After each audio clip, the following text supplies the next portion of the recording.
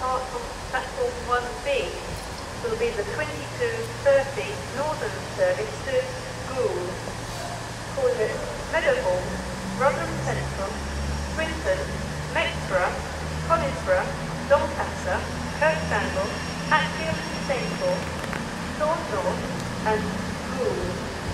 Platform 1B from the 2230 Northern service to Goole.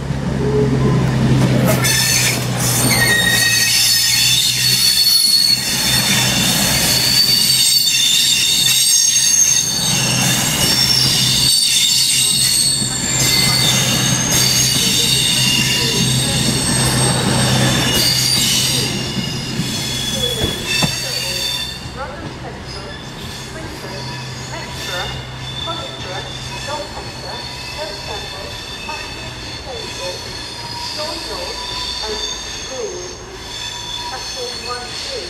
for the 2230 Northern service to Goole.